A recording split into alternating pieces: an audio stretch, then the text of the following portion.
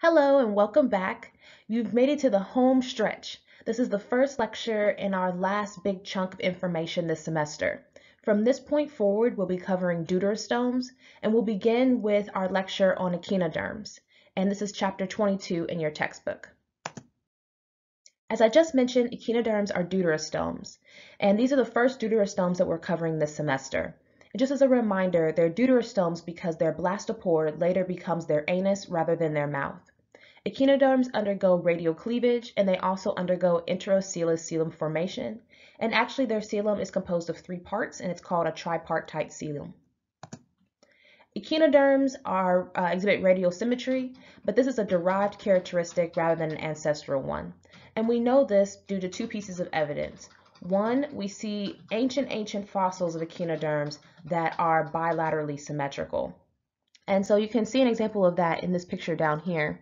This is an artist's rendition of what a uh, very ancient echinoderm ancestor looked like based on fossil evidence. You can very clearly see that this ancestor is bilaterally symmetrical. And so this gives us um, some very clear evidence that bilateral symmetry was actually ancestral in this group.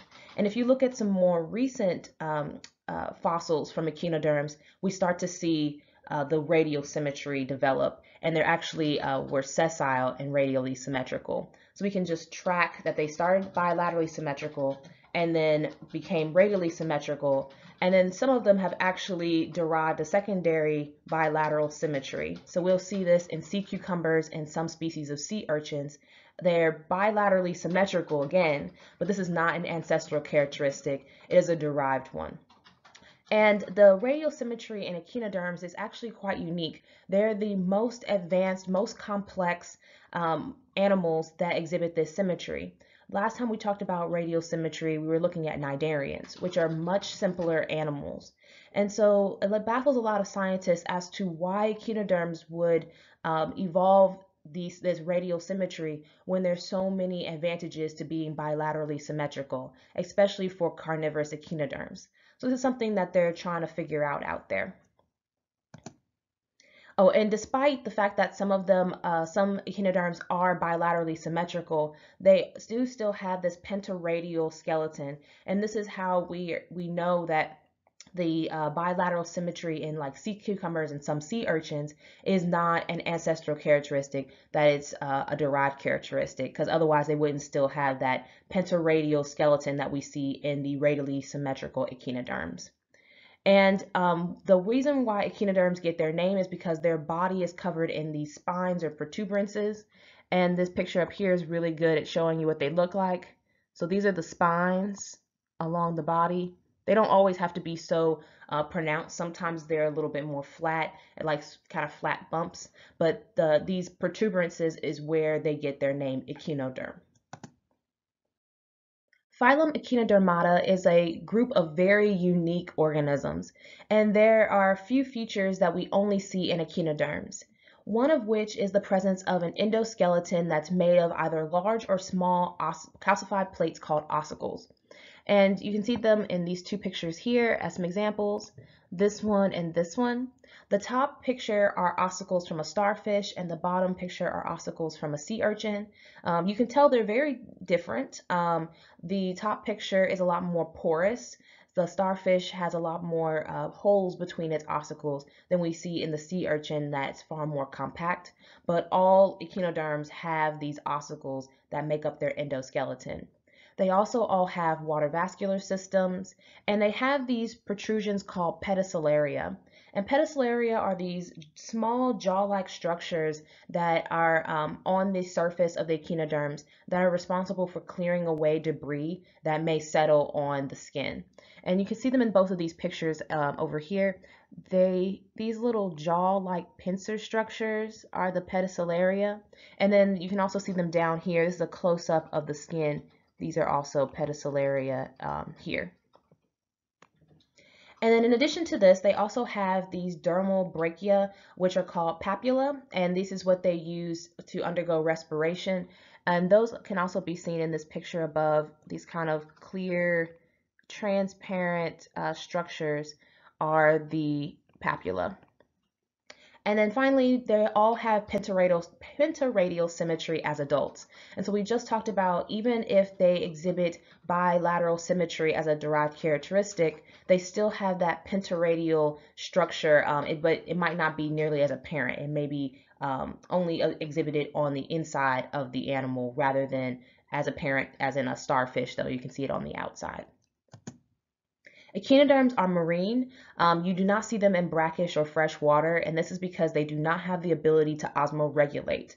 So if they get into water that's too fresh, uh, like brackish water or fresh water, they will end up dying. The vast majority of echinoderms are benthic, meaning that they live on the uh, seafloor, but they can also be pelagic in a few species.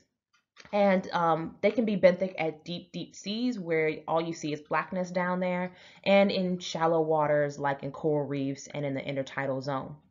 For the most part, they're either particle feeders or uh, predators, and as particle feeders, they can be suspension feeders or deposit feeders and they are common commensals.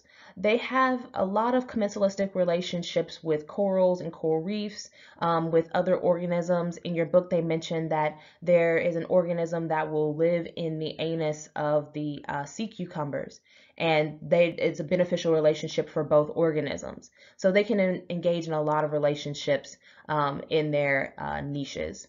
And some examples are sea stars, brittle stars, sea cucumbers, sea urchins, and sea lilies. As we're talking about echinoderm anatomy and physiology, we'll be using class Asteroidea as our model, and this class includes starfish. And we're using these as our model, and your book uses this as the model, because there are various characteristics that are present within this class that are also present in various other echinoderm classes as well. So once we get to the section of the lecture where we talk about the other classes of echinoderms, I'll point out key differences between those classes and class Asteroidea um, as we go through each of those. And so we're going to start with the anatomy and physiology from outside in. The, cili the epidermis of starfish is ciliated, and they have these projections called pedicellaria, which we just uh, mentioned. In the last picture, you can see some of those um, jaw-like structures. And this picture is really good at showing you an up-close view of what they look like. Um, they can be large or small, and the ones I pointed out in the last picture were much, much larger. They were clearly very visible. And these jaw-like structures oftentimes surround the spines of the epidermis, and they're responsible for clearing away any debris. And this helps to prevent uh, algae from settling and establishing on the skin, but also helps to uh, keep the um, pathogens away from the skin as well to keep the echinoderm um, healthy. And it also helps to keep the uh, skin clear for the respiratory structures so they don't get clogged. And um, you can see in this picture here, they show you the spine and the pedicellaria that kind of are at the base of the spine, clearing away any excess debris. These pedicellaria can also play a role in food acquisition in some species, especially those that are deposit or suspension feeders. The endoskeleton of uh, echinoderms is made of these calcareous plates called ossicles, and they're these kind of block-like structures in this picture above. And these ossicles are held together by something called catch collagen. And catch collagen is unique. It's not like the collagen we normally think of that's uh, pretty rigid and fibrous, but also has a little bit of flexibility. Instead, this collagen is under neural, neuronal control, and they can go from being a liquid to a solid back to a liquid. And so how the organism is able to use this is they're able to um, switch from liquid collagen to solid collagen to hold particular positions without having to use their muscles. So imagine if you see a starfish and it's trying to catch um, a sea anemone or something like that, right? And so it's it's sneaking up and then it wants to raise off the ground and hold a particular position. It uses muscles to raise up off the substrate and hold that position and then it will use um, neuronal control to uh, convert its catch collagen from liquid to solid.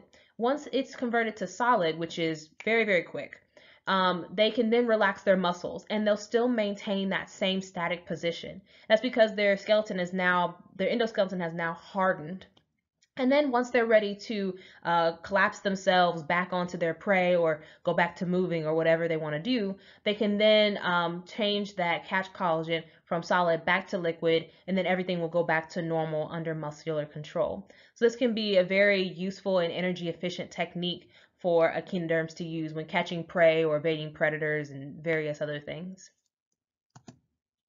They also have these projections through their epidermis or their dermal layer called papilla or papillae, and they're kind of hard to see here, but they're these like kind of thin projections, and they're basically just um, small projections of the coelomic cavity that extend past the ossicles and out of the body, and they're responsible for aiding in respiration.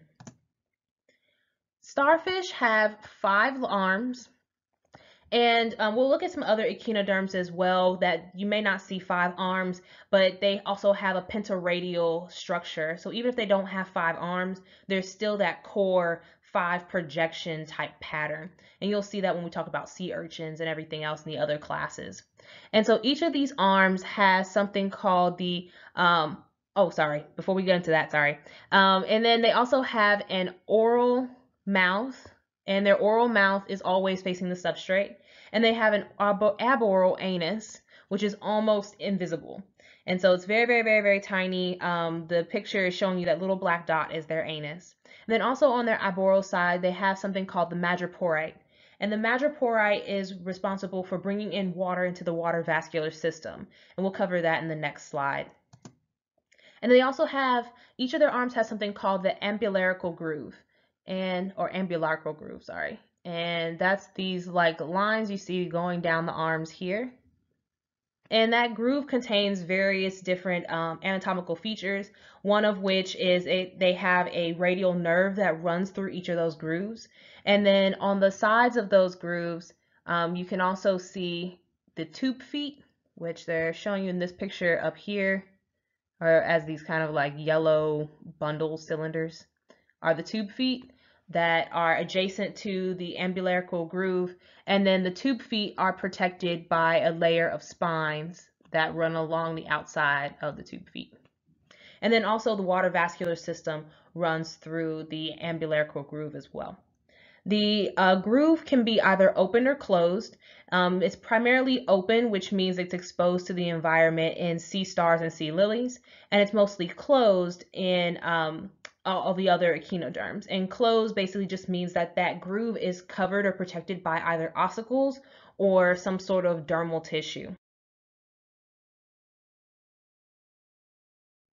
When looking at the ambulacral grooves, we can see both radial nerves and the water vascular system.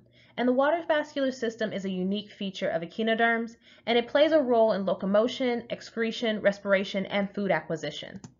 So how does it work? Well, we start at the madreporite. Water enters into the organism via the madreporite on the aboral side, and then water travels down the stone canal, which is a little hard to see in this picture, but it's a little tube here, into the ring canal. And the ring canal has these projections called the Polian vesicles, and they play a role in regulating the water pressure um, within the water vascular system. And so the water will fill the ring canals and then be diverted into the lateral canals that are within each of the um, ambulacral grooves. And then from the lateral canals, the water will go into the ampulla. And the ampulla are shown as these little dots, these little balls here. And the ampulla are these kind of um, ball-like structures that hold water that are anterior to the tube feet or what uh, you can also call podia. And so you see them in this picture here. Oh, let me some of this. Okay, there we go.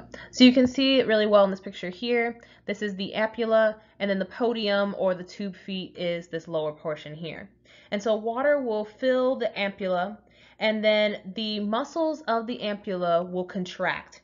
And when those muscles contract, it forces the water out of the ampulla into the podium. And this will cause the podium to extend. When the uh, tube foot needs to be contracted, then the muscles retract here labeled as retractor muscles in the podium will contract and that will force water from the podium back into the ampulla so that the tube foot can be retracted. You can also control the direction of the podium. So you can contract muscles on either side of the podium. So here you can see the muscles on the left side are being contracted and that will cause the, um, the tube foot to turn left or you can contract the muscles on the right side and that will cause the um, podium to turn right. You can also pull up this kind of basal plate here in the podium and not all animals can do this, not all echinoderms can do this, but some echinoderms can pull up that terminal plate and this will cause a suction to occur between the tube foot and the substrate. And so this is common in a lot of starfish. Will use this ability to scale rocks or attach themselves securely to rocks in intertidal zones where there would be a lot of uh, turbulence due to water. Most echinoderms have a complete digestive tract, complete with a mouth, esophagus, stomach, intestines, and anus, though some lack intestines and anus and instead have a blind gut where food comes into the mouth and waste must leave through the mouth as well. And um, you can see various structures of the digestive tract here and here in both of these pictures. But what I really want to uh, point out is this cardiac stomach. So some echinoderms have the ability to uh, extend their stomach, the lower portion of their stomach, out of their body in order to externally digest their food. And then they'll suck up the uh, digested food uh, nutrients into their body. So most digestion is external. And you can see a picture here, all this kind of like fleshy, kind of translucent material that's not the fish is this starfish's stomach. And they clearly have extended their stomach out of their mouth to digest these fish. And then given enough time, those fish will no longer be present, um, except for just some skeletons, and all the other nutrients will have been absorbed by that starfish. Not all starfish are carnivores. Some are uh, deposit feeders or filter feeders. And in these cases, they can use their um, ciliated epidermis to sweep particulate matter towards their ambulacral grooves. And then from the ambulacral grooves, they'll continue to sweep the food towards the mouth for ingestion. The nervous systems of echinoderms are not well developed. They have no brain and no ganglia. They essentially just have a nerve net and all the other sensory organs are highly underdeveloped in echinoderms. So when it comes to their nervous system, they're relatively simple. The vast majority of echinoderms are dioecious, but some can reproduce asexually. And they can do this by splitting their central disc in two and then separating those two pieces. And then over time, those two pieces will regenerate their missing parts. So what this would look like is if we have a starfish and then we have our central disc, which is that whole middle section, and then your ambulacral grooves. If this organism were to divide its central disc in two, down the middle, and separate those two halves, given enough time, each of those halves would regenerate their missing parts, and we would end up with two clones of the parent echinoderm, in this case, a starfish. And regeneration is not limited to reproduction.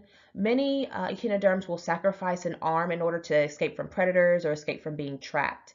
Um, this does not come without a cost, right? So it takes them several months to regenerate that missing limb, but it's better than being dead, so it's worth the sacrifice.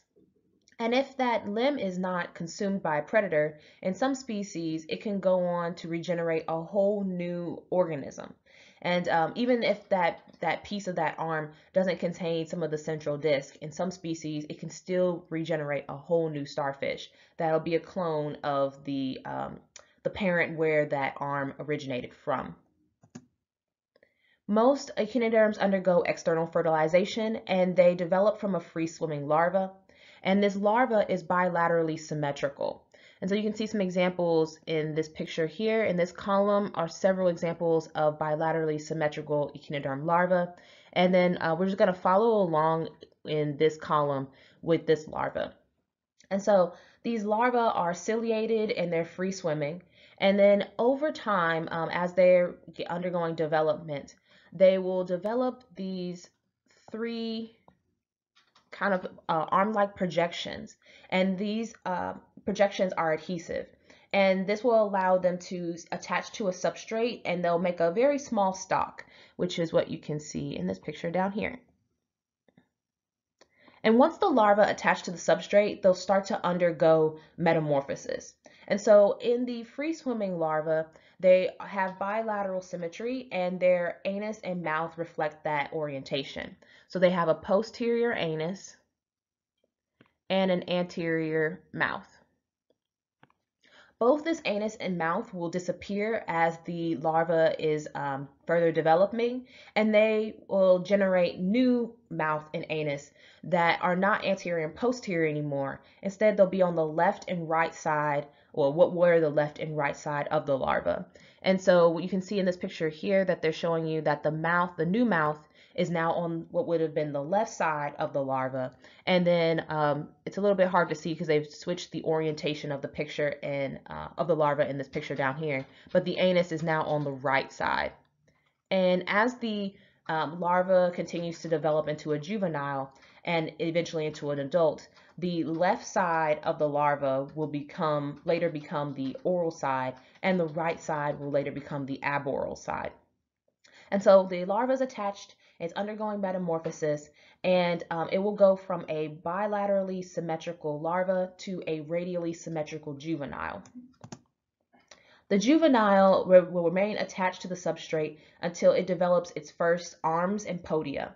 Once the arms and podia are um, are developed, then the uh, juvenile will go from being sessile to being motile, and then the juvenile will continue to be motile and continue developing into an adult um, echinoderm. Now let's spend some time talking about the various classes of echinoderms. As we're going through these various classes, I'm going to point out some key differences between each class and the characteristics that we've learned about in class Asteroidea. And so we'll begin with class Ophiuroidea. And Ophiuroidea is the largest group of echinoderms. And one really interesting distinguishing feature about them is their long, slender arms, as you see here and here. I love this above picture, very Tim Burton-esque. Um, but you can see though those long, those really long, slender arms almost make them look like aliens. And because they're so slender, they have to contain all of their organs in their central disc. There's just simply no room in their arms to put their organs, unlike what we saw in class Asteroidea. They lack pedicellaria, um, papilla, cilia, anuses, or intestines, so they have an incomplete gut. They also have an oral rather than an aboral madreporite, and that's being pointed out in this picture here their madreporite on the oral rather than the aboral side. And they have closed ambulacral grooves. And uh, so that can be seen here. So the ambulacral grooves in the um, starfish would have been visible, but here you can't see them. Instead, all you see are these ossicle plates. So the, those grooves are considered to be closed. They primarily use their tube feet for feeding, but they don't have ampulla, so instead their um, tube feet are driven simple, simply, simply by muscle movement rather than uh, the use of water to uh, extend the tube feet. They just use their muscles instead. And they're primarily um, able to move from place to place through the bending of their arms. So instead of using their tube feet for locomotion, they use their tube feet for feeding and then just use muscles in their arms uh, to kind of extend and pull and push themselves forward and back. Their larvae do not attach to the substrate during development, so they don't have that initial um, kind of foot-like projection to attach. Instead, they remain um, in the in the water column and then as they undergo development. And these organisms are, tend to be scavengers, particle feeders, or predators, depending on the species. And they include brittle stars and basket stars. So this picture here is a brittle star, and then this picture down here is the basket star. Next, we have class Echinoidea, and there's a couple of notable members of this group. One of them being these guys. Sea urchins. Sea urchins are really well known because they have these very apparent spines on them. And these spines are actually anchored into ball and socket joints. So they're not static, they're actually movable. So if you sit and watch um, these sea urchins long enough, you'll start to see them move their spines. And this is important because these spines play a major role in locomotion. And of course, there is an exception to this rule, and those would be the sand dollars. Clearly, you can see from the sand dollar, you don't see those uh, defined spines. Instead, uh, it's a lot more smooth. Their protrusions have been smoothed out um, for the most part. Another interesting characteristic of sand dollars is that they're secondarily bilaterally symmetrical. And so you can see that if you split this animal in half here, and um, this bilateral symmetry, just as a reminder, is a derived characteristic, not an ancestral one. In both cases, in sand dollars and in sea urchins, they have tightly packed ossicles. And you're familiar with this if you've ever seen an endoskeleton of a sand dollar on the beach. Um, it's just kind of one large plate rather than having a porous um, kind of uh, shell left behind or an endoskeleton left behind. And then this picture down here does a really good job at showing you how the ossicles of a sea urchin are very, very, very closely packed together. So each of these kind of scaling looking pieces in this image are the ossicles and they're basically so close together they might as well be fused at that point. All uh, members of this class lack arms and they but they do still have five ambulacral grooves. They're just not nearly as um, as uh, apparent. So you can see them in this picture down here of this sea urchin. Um, they're showing you four out of the five. You see one, two, three, four, and if this wasn't an open picture, the fifth one will be coming out at us and they're not that apparent because they're closed. They're covered by ossicles. So if they were open like in starfish, we could see them, but because they're covered by ossicles, we can't really see them. But these ambulacral grooves do have tube feet, but those tube feet have to extend past the endoskeleton out of the epidermis to get to the environment. And uh, this picture is trying to show you those. It's kind of hard to see them here, but they're uh, showing you here. They'll they extend through the um, past the ossicles, past the endoskeleton via small holes in the endoskeleton. Another interesting thing about the ambulacral grooves in uh, sea urchins is that it extends from their oral to their aboral side because they're very rounded. They um, the grooves start near the mouth and then they wind all the way up to the aboral side near the anus. The, um, the members of this class use tube feet and spines for locomotion, at least in the case of echinoderms, oh, not echinoderms, in the case of sea urchins, they can use those spines to help them uh, basically almost like roll along the, um, the ocean floor. And then many of them will have, especially sea urchins, will have venom injecting pedicellar, sorry. Um, and so this is an effective way of them um, protecting themselves from predators, um, in, in, addition to the fact that they're covered in spines, right? Many things are not going to want to eat them, uh, with the exception like sea otters and a couple other marine uh, organisms. For the most part, organisms tend to stay away from these guys. And um, members of this class are also omnivores, and it includes obviously sea urchins and sand dollars. Members of class Holothuroidea are soft-bodied, and this is because even though they do have ossicles, their ossicles are highly reduced and dispersed throughout the body. So there's a lot less hard surfaces and a lot more squishy tissue. They're also secondarily bilateral, so this is a derived characteristic in this group, and this includes sea cucumbers. They have circular and longitudinal muscles and a hydrostatic skeleton. So based on what we just covered with annelids, this should give you some idea of one method of locomotion in these animals. They also have tube feet on um, all of their ambulacral grooves, which they have five of, like um, the vast majority of echinoderms.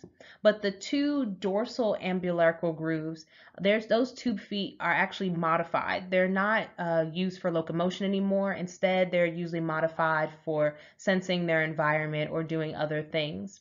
Um, their ventral tube feet on those three ambulacrals that um, are facing the substrate are used for locomotion. But not all species have tube feet. Um, some of these species that are more burrowers have lost their tube feet altogether, but they will still have those ambulacral grooves. Many have these oral tentacles that they use for food, and these are actually modified tube feet. And um, they can be seen in both of these pictures here. So they're showing you these tentacles on their oral side here. And they also, you can see a real life example here. And they, of course, they can use those in combination with mucus to catch any particulate matter or um, per, uh, particulates that are on the substrate and bring them into the mouth. They also have these key structures that are unique to this class called the respiratory trees. And those are these structures. Let me see a dark color. These structures here. And this is the only class that has these. And they use these for respiration and excretion. So of course, respiration makes sense. And for excretion, they can um, bring in water into these respiratory trees and push that water out of the anus, which helps to push the waste out of the organism. And to protect themselves, um, sea cucumbers will do something very interesting. They will expel part of their internal organs to escape from harm. Um, so that's what you're looking at in this picture here. All this kind of white gooey stuff. Let me see a different color. This white tentacly gooey looking stuff here are their actual internal organs. So they've projected some of their um, organs out of their anus or they might even rupture their um, epidermis to uh, remove the organs from their body and this will give them a, a, way to escape from predators right one either the predator will attack that uh, piece of organ, giving the animal time to escape. And then that organ actually becomes sticky and it will attach itself to the predator's uh, face. And this will also give the organism time to, to get away because now the animals, the predator is struggling to get the that piece of organ off of their face. And then they just regenerate those organs later on once they make it to safety. And as I mentioned, an example are the sea cucumbers. Members of class Crinoidea tend to be sessile. Some of them can become motile or are motile at some point in their lives. However, they do spend a significant portion of their lives in one place. All uh, members of this class are derived from a free-swimming larva, though.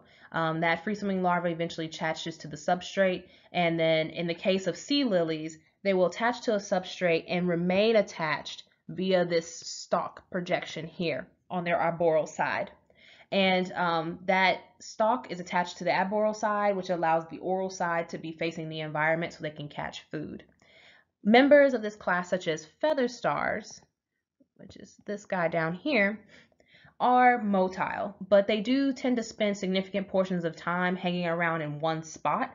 So they're not sessile, but they can almost be kind of sort of considered to be sessile, even though they are motile. All members of this class have branching arms, which are pretty well apparent in both of these pictures. They have this kind of feather-like appearance. They lack madreporite, spines, or pedicellaria, um, but they do have those ambulacral grooves, like we talked about in all the classes thus far. And those ambulacral grooves are open, so they're not covered by epidermal tissue or by ossicles. Um, they're more like what we see in class Asteroidea, where they're open to the environment. And they do have tube feet, but they use their tube feet for feeding rather than for locomotion. An example being obviously sea lilies, which is this top picture, or feather stars, which is the bottom picture.